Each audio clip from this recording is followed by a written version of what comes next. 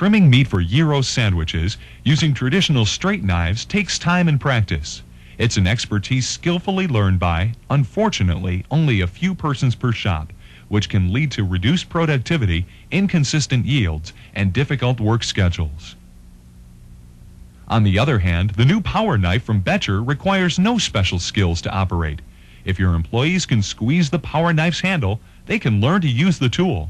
It really is that easy. The feature that makes the Whizard Power Knife from Bettcher so easy to use is the same one that helps increase your shop's profits. Slice thickness is carefully controlled with the Whizard Power Knife's adjustable depth gauge. Inexperienced employees just glide the Whizard Power Knife across the cone, producing longer, thinner, more uniform slices. The difference is clear.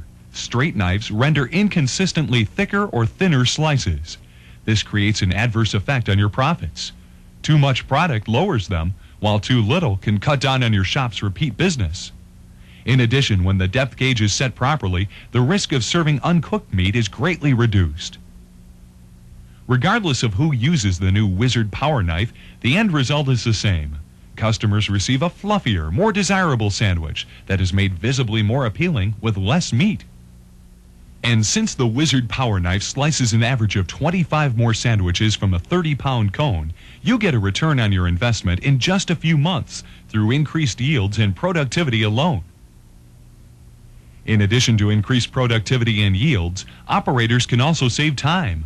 The more powerful cutting tool allows store owners to serve multiple sandwiches in the time it takes to make one sandwich using a conventional straight knife. Customers and employees alike will appreciate the improved serving speed.